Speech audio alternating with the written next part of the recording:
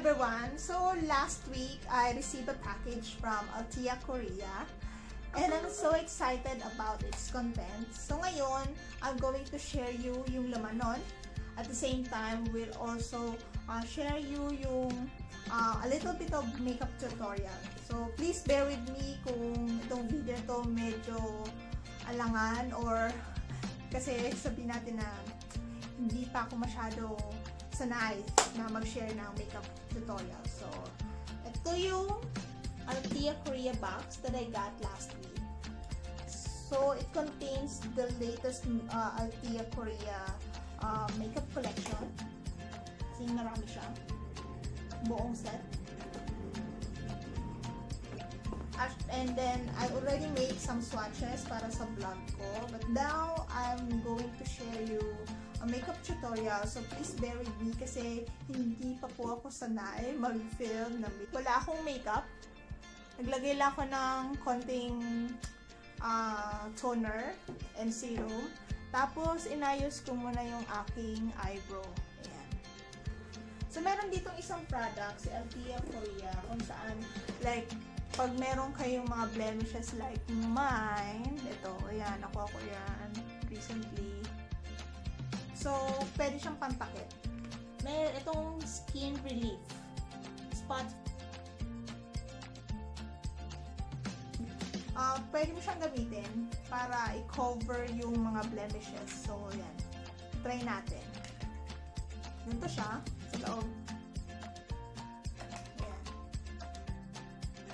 Tapos, ang gel niya is transparent.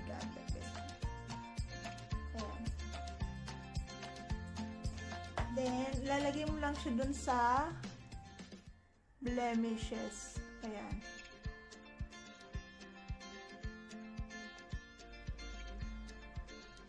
Ayan, para makover niya mamaya. So, ito kailangan patuyuin mo muna. Patuyuin mo muna siya saka ka mag-apply ng foundation. Ayan. Dami kong blemish. Ayan.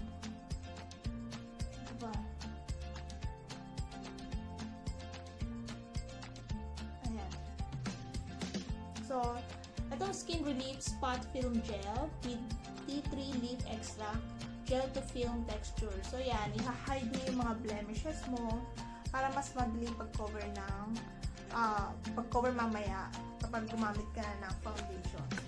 So, ang iba, hindi masyadong mahilig maglagay ng foundation. Ako, minsan lang din ako mag-foundation kapag meron akong event na pupuntahan. Usually, ginagamit ko, naglal after ko mag-wash ng face, mag-tone, maglagay ng toner, tsaka moisturizer, nasusunod na gagamitin ko is yung sunscreen para sa face ko. Tapos, dab lang ng powder and then okay na. Para fresh look lang. So, ayan. Antayin muna natin na matuyo siya. It takes few minutes bago siya matuyo. So, yun. Kung nagmamadali kayo, I think this isn't for you. Pero kung meron pa kayong time to, to apply that, so mas okay. Ayan, I think medyo tuyo na siya. So now, maglalagay ako ng foundation. Konti lang. Konti lang para as base.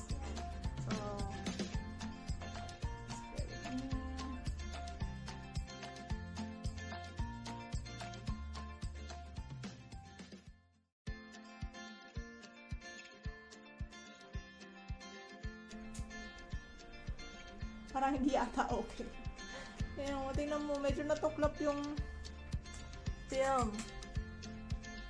Yeah. Medyo natuklap siya. Oh. Yeah. Hindi siya okay. Ba't ganon? Medyo natuklap yung film.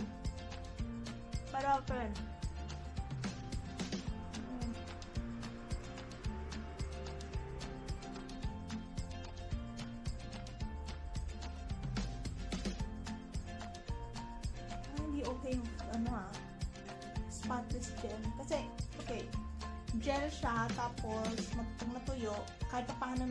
siyang layer.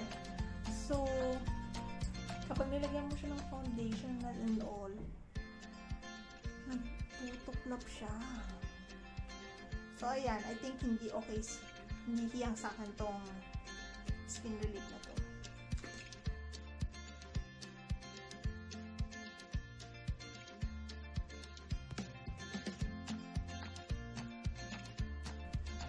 Uh, oh my god. Ah. Hindi siya okay.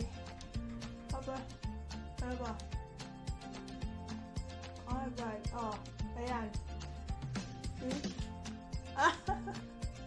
oh Parang hindi okay. Okay. Ah. See?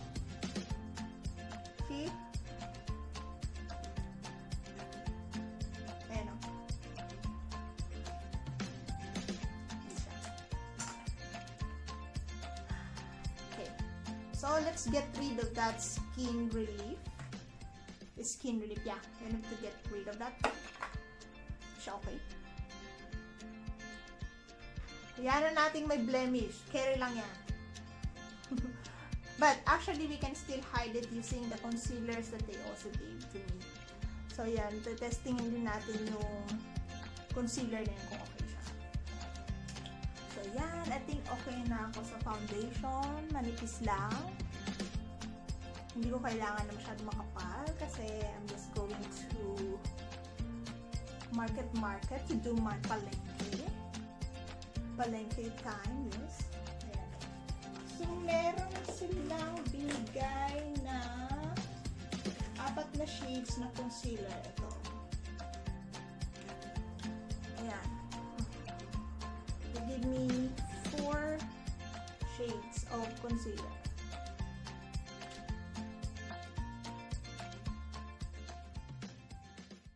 Shades na to, vanilla, this is honey, tapos mocha, and then meron silang ginger. I don't know bakit nito ang kulay ng ginger. So yan, since morena ako, I'm, I think may, medyo okay sa akin tong mocha. Mocha yung pinaka-dark. So yan, check natin kung okay siya. So yan, swatch muna natin. Pata ko sa inyo.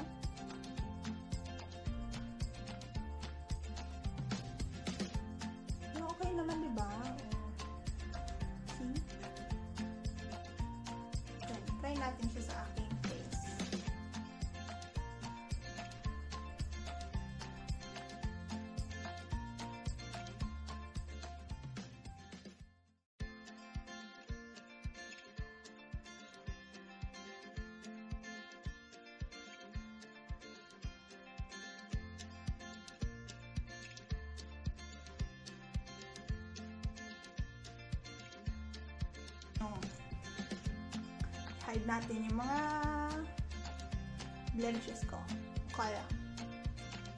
Uh-huh. Teka. Ayan. Lagi tayo meron dyan na blemish. Kayo ba? Meron din bang ganyan? Minsan dito sa my lips. Ayan. So, kaya dito. So, dito na lang tayong ganyan eh. So, kung bakit.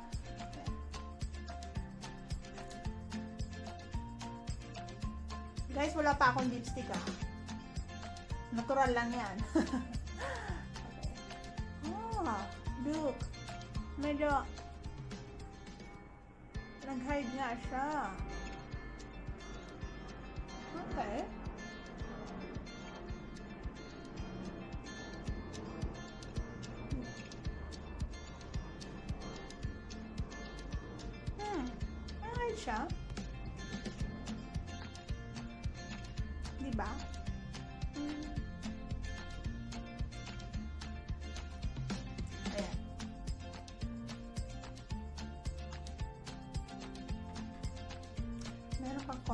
Konti, pero sige. Ayan.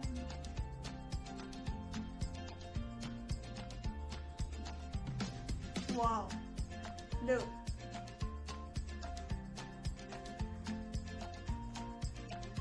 Okay na,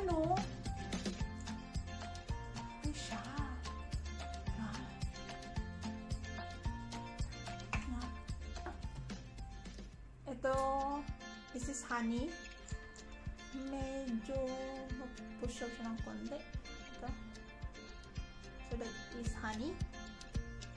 Ayan. Tapos, yung isa, ah, ginger. Ayan. This ginger. So, kung medyo fair skin kayo, ayan, or yung honey. Pero sa aking morena skin, I use the mocha. Ayan. Ito naman, vanilla. Bakit yung vanilla masyadong maputi? Usually, di ba ang vanilla medyo brown? Yan. Ayan. Pag-concealer na ako, may foundation na. Okay na. Now, check natin itong Sunrise and Moonrise Eye Palette galing sa Atia Korea. Ganda ng packaging, no? So colorful. Ayan. So, meron siyang walong shades. Wala siyang name kung ano shades, puro numbers lang as you can see here. Wala din siyang English translation, all in Korean. Ayan. Ito yung palette. Oops. Binuksan ko na siya kanina yan yung palette. You can see. The only downside of this, wala siyang makeup brush na kasama.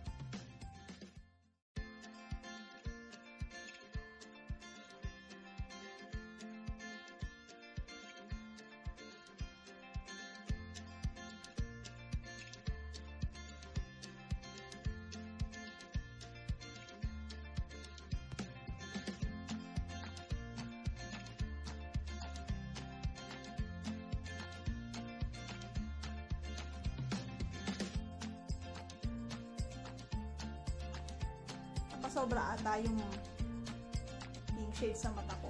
Hindi ko siya gusto. Hindi ko siya gusto nung nilagay ko. Pero I think mas magiging okay siya kung magaling yung maglalagay sa akin. Since hindi ako marunong maglagay ng eyeshadow, yeah, look at that.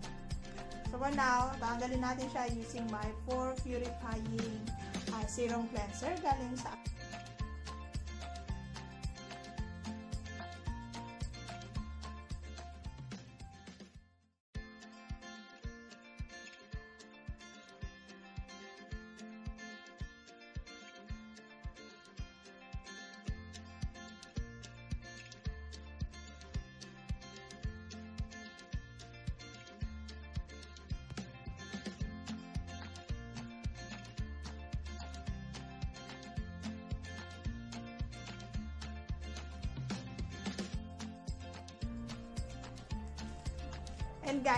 tayo kasi hindi ko nagustuhan yung pakakalagay ko ng uh, pink shade. Okay? So, reset tayo.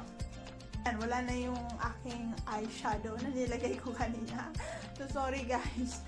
Kasi kailangan ko siyang palitan kasi hindi ako komportable sa shades na yun. So, balik tayo dun sa usual na ginagawa ko na puro neutral shades lang. Siguro guys, yung ganong klase ng eyeshadow, okay siya kapag may pupuntahan akong flamboyant event. Alam niyo yon Yung halimbawa, uh, mala Met Gala, ganyan. So, okay na medyo eye-popping talaga yung yung eyeshadow ko. Pero kapag ngayon, yun nga, pupunta lang naman ako doon sa market-market para mag-grocery. So, hindi pwede. Kailangan naman na ganon ang gawin ko. So, yan. So, usual, ito pa yung gagamitin ko. Shade. Pero this time, konti lang.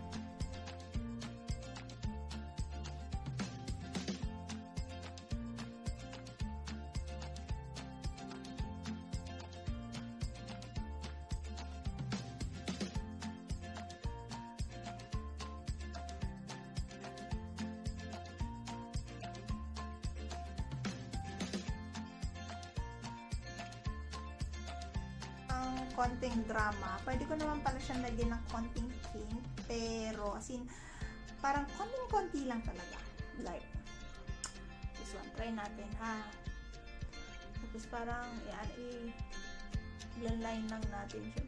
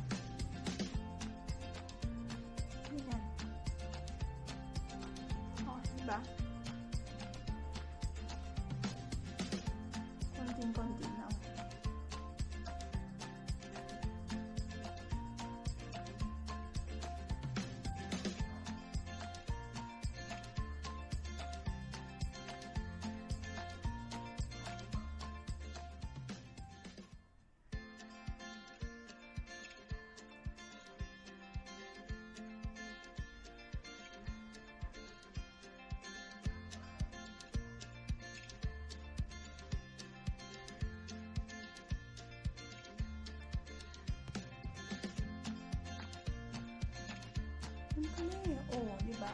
Mas okay siya. Mas okay siya kasi yung kanina. Parang, scary talaga na parang, para akong anong, para akong ano eh, um, yung look kanina, para akong uh, sinuntok ng dalawang beses. Yeah. So, pwede yun pag ano, pag Halloween look. Okay siya. Pero pag daily look, dapat mga ganito lang eh. di ba?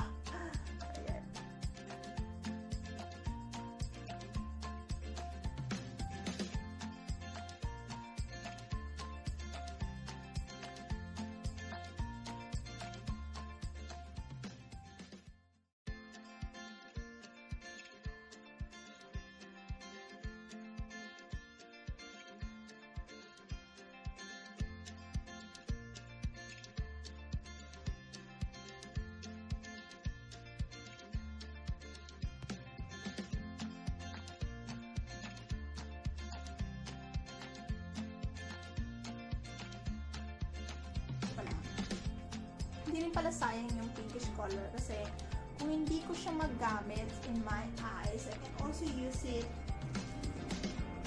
sa aking sa tinting mo.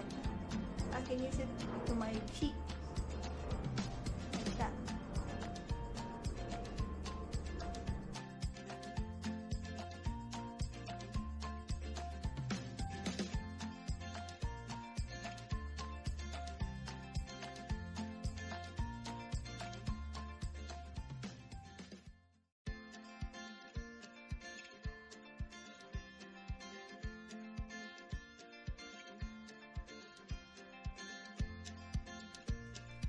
Yan, medyo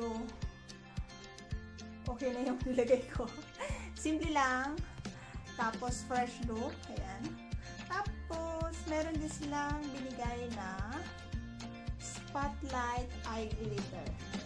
So, meron silang dalawang shade. Isang gold light at isang pink light. So, tingnan natin yung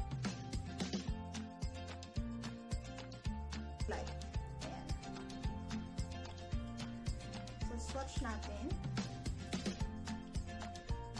Ito yung gold light. Ayan. Hindi masyadong kita, pero nag-shimmer siya ng gold. Siguro mas mas ma-emphasis yung ano niya kapag na-ilawan siya ng ano. Ilawan siya ng bongga. But not the sunlight. And then, ito naman yung pink light. Ayan, medyo pinky siya. So, yung shades niya parang, alam,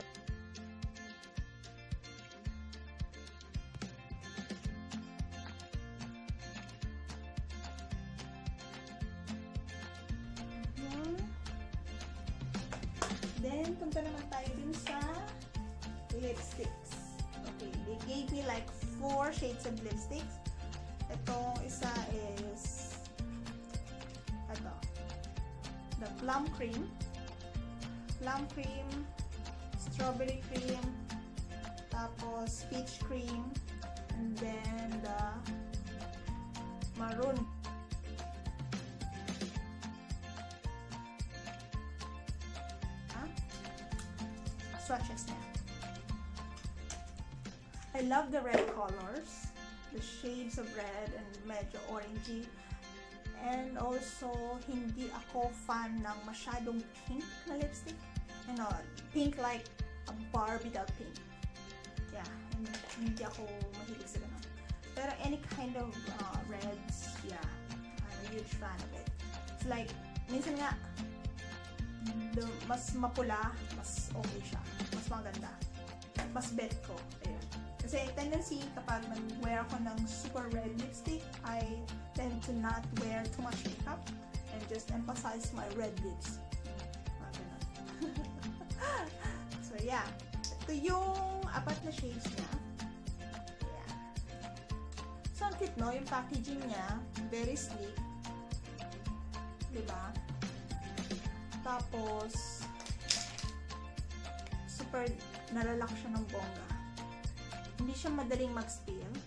So, this is very safe kapag nilagay mo siya sa purse mo.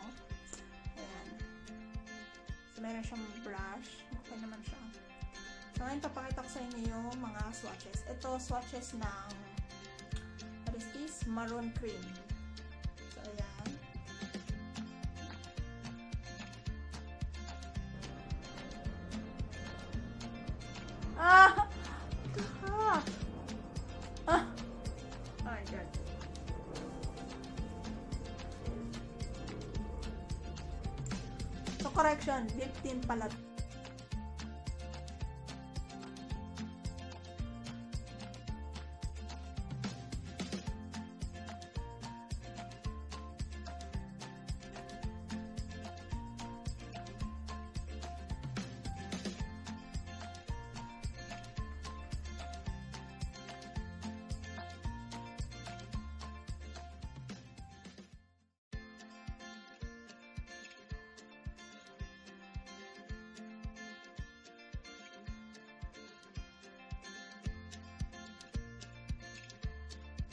Diba?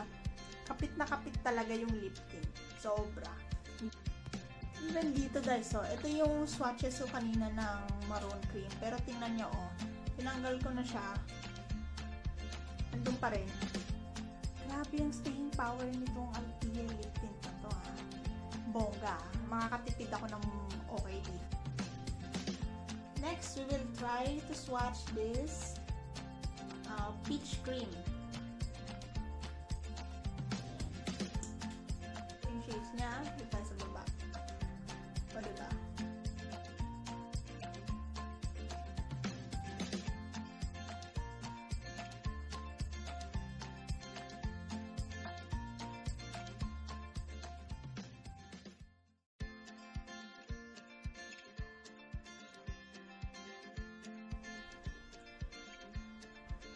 So guys, tatry natin na ilap sa tissue. ah. Oh.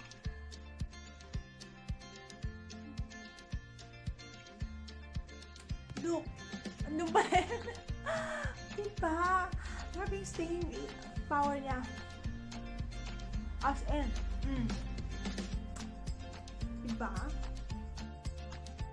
Guys, ito yung gamit ko na ano ha, ah, makeup remover itong bagong pore purifying cleanser. Ah, serum cleanser. Ayan. Kung makikita niya, talaga naman siya. Pero, talaga makapit lang talaga yung lipstick niya. Para siya yung clingy mong boyfriend na kahit anong ano mo talaga dun sa jowa mo, dikit ng dikit pa rin sa'yo. So, kung makahanap kayo ng lipstick na ganon, or boyfriend na talagang super clingy sa inyo, it means you have to keep them because it means it means ano, talagang ikaw lang yung gusto nila. Di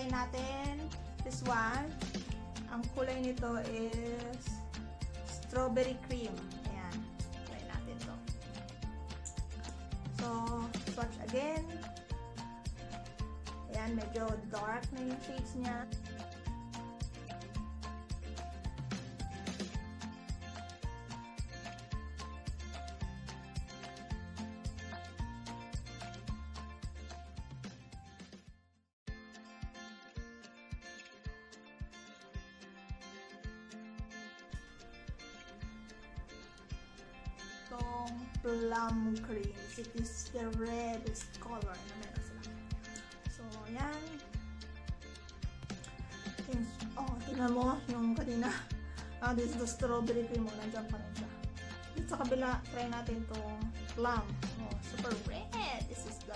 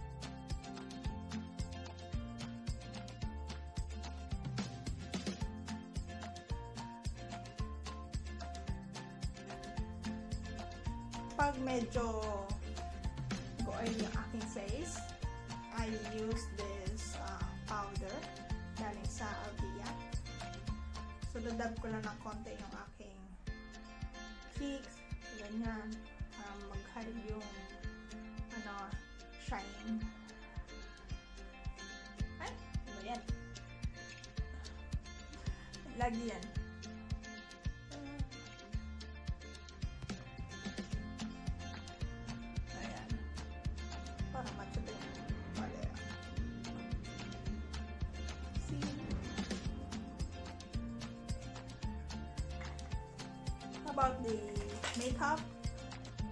Okay siya. The, the collection is really good.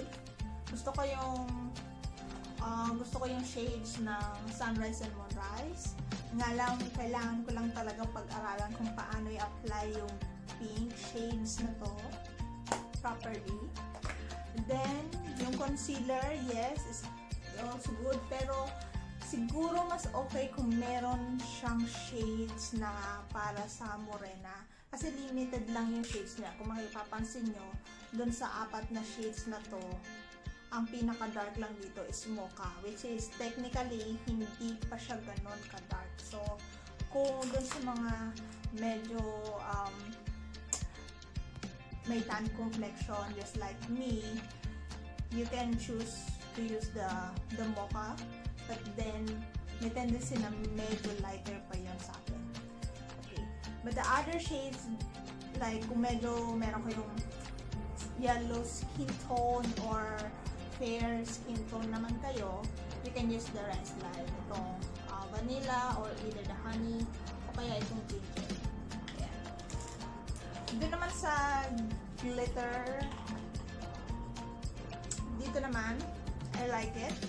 Kasi, ito yung mga pwede siyang pang emergency uh, cases like, for example, if you have an emergency party to attend to,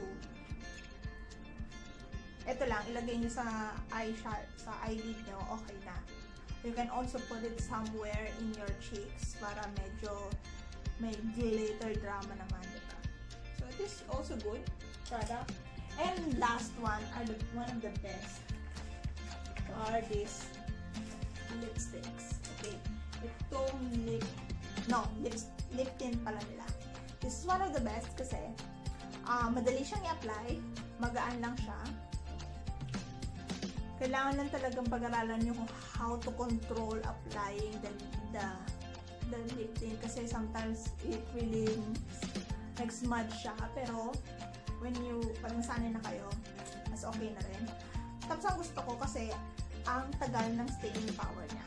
So nakita nyo kanina guys uh, tinanggal ko na siya using the linat ko na siya using the tissue and then tinanggal ko na siya using the the cleanser that I have and still meron pa rin siya dun sa aking lips. So, it's really good talaga. So, this is really worth it. My favorite shades is this one. Itong maroon cream. And also the brightest, the darkest one. Ito. The, mga ba The plum. The plum cream yan. So, Kasi I really love red shades. Ayan. So, tulad dito, suot ko, pinakole is plum cream. So, nandiyan pa rin siya. Overall, masaya naman ako sa naging final look ko ngayon. Ayan. Masaya naman ako kahit hindi ako naglagay ng mascara. Okay pa rin. Ayan. Kailangan ko lang talaga mag-aalak. Meron akong mistake. But then, I will try to learn how to use it. Yan. So, yung mga products na to, available siya sa Altia Korea website. I will put the link down below. At yung mga list of, of these products na pwede nyo uh, i-try sa Altia Korea. So, yan. So, you can order it by online and then you just have to wait like up to 15 days. But in my case, I only wait like 8 days and then na-receive ko na yung product. All well packaged and intact siya. So, ayan. So, hope guys, uh, kung nagustuhan niyo yung tutorial ko, kahit na medyo may, may mga bloopers ako kanina, kanina. So, please like my uh, videos and also, I will appreciate your comments below. Okay? Kahit hindi na kayo mag-like, Basta may comments kayo sa baba uh, because I really love reading comments and I'll try my best to reply to your comments and inquiries. So yeah, thank you Altia Korea for sending me all these gifts and I really appreciate it. You guys are the best. Thank you. See you for the next videos and tutorials and sa mga susunod ko mga travel videos. So stay tuned. Bye-bye!